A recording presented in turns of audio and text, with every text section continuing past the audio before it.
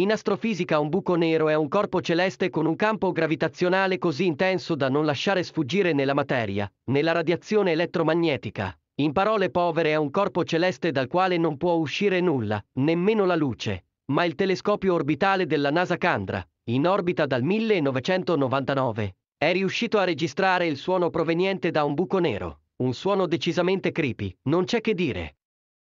The sound of a black hole.